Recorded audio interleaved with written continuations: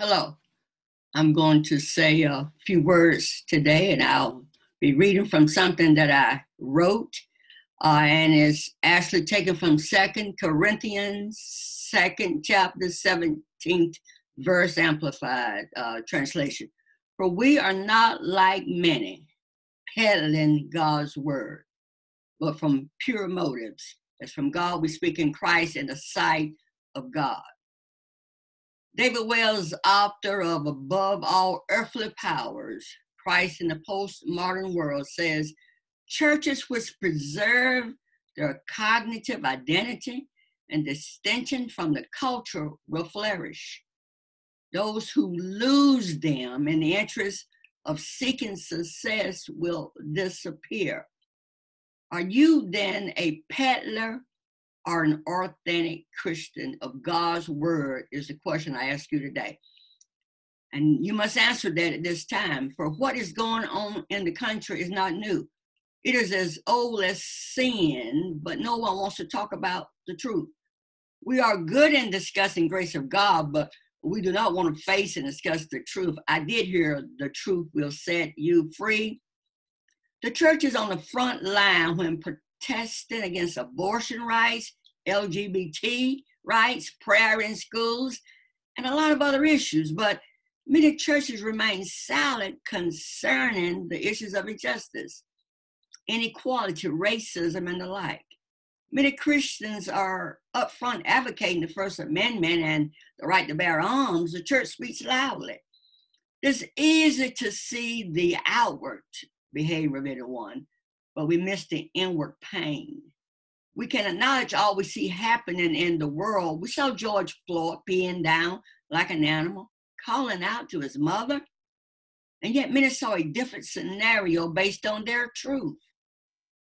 I remember Jesus on the cross, remembering his mother, saying to those disciples who were below, Behold my mother.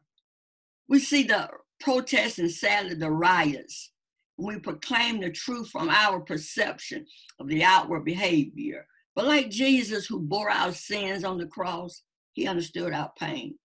His diagnosis for us was sin based on our weakness, and that operation on the spiritual heart was necessary to change some behaviors.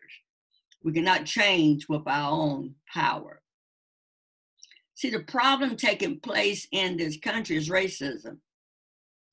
The solution is a change of one's heart. The answer for me as a Christian was and still is Jesus Christ. And Jesus gave the church the mandate to go out into the world and spread the good news. For you, it may be something else. I don't know. But if you want to solve a problem, then you need to assess what is going on, why it is going on, and help to change the situation. Too many Christians are peddlers of God's word. Are you a peddler? Peddler are his messages as, as, as stated in the good news. We're selling his word, shortchanging or adulterating the word for one's own purpose, not for God or humanity, but for self. They have a politic agenda our identity. An authentic Christian cannot compromise God's word for self interest, self motive, political agendas.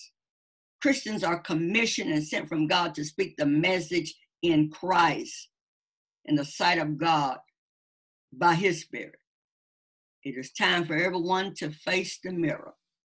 Decide for yourself. Am I a peddler or authentic Christian? Thank you.